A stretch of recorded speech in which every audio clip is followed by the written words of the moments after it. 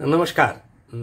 22 तारीख को जो है, भगवान राम की पुनर्स्थापना होने जा रही है। पाँचों, पाँच सौ वर्ष बाद ये अवसर आ रहा है। बहुत ही महत्वपूर्ण है।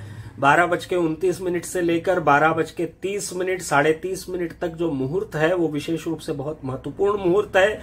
क्योंकि सूर्य जो है, अपचय अवस्था में है और मंगल और गुरु आपस में राशि परिवर्तन कर रहे हैं। मंगल जो है, वो ऊर्जा एनर्जी सफलता, शक्ति इत्यादि का स्वामी होता है। और गुरु जो है, वो सत्ता का राजा राजपाठ का इत्यादि का जो है महत्वपूर्ण ग्रह माना गया है, गुरु जो है। और इस तरह से हम देखें तो ये बहुत ही महत्वपूर्ण अवस्था में जो है, भगवान राम फिर से विराजमान होने जा रहे हैं। बहुत ही अच्छा दिन है वो।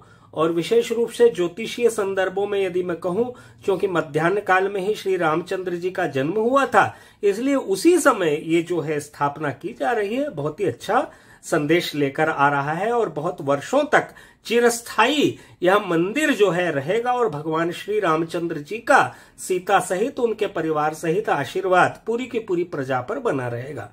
इस दिन क्या किया जाना चाहिए? इस दिन विशेष रूप से मेरा निवेदन सभी से यह रहेगा कि सुंदर कांड का पाठ करें, रामचंद्र जी की स्तुति करें, राम रक्षा स्त्रोत्र का पाठ करें, और विशेष रूप से रामचंद्र जी से संबंधित जो भी भजन इत्यादि है, उनका गुणगान करें। एक और बात मैं कहना चाहूँगा कि गरीबों को भोजन कराएँ, बहुत ही महत्वपूर्ण है, क्योंकि प्रजावाहक हैं श्री रामचंद्र जी।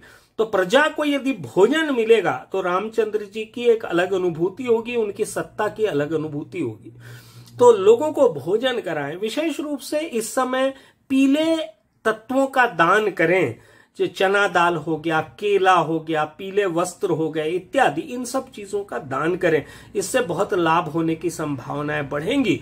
रामचंद्र जी के जो स्त्रोत्र हैं, उनका ध्यान करें। रामचंद्र जी के भजनों की स्तुति करें। राम राज जो मेरे पीछे है, आप देख पा रहे हैं। ऐसा ही राम राज राज, राम जी के राज तिलक का जो फ़ोटो है, उसको लगाकर उसकी पूजा अर्चना करें। इत्यादि करने से सभी को निश्चित रूप से लाभ होगा और जीवन में उन्नति का मार्ग प्रशस्त होगा।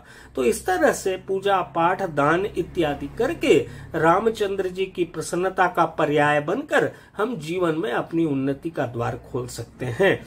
निश्चित रूप से 22 तारीख को ये सब किया जाना चाहिए। नमस्कार।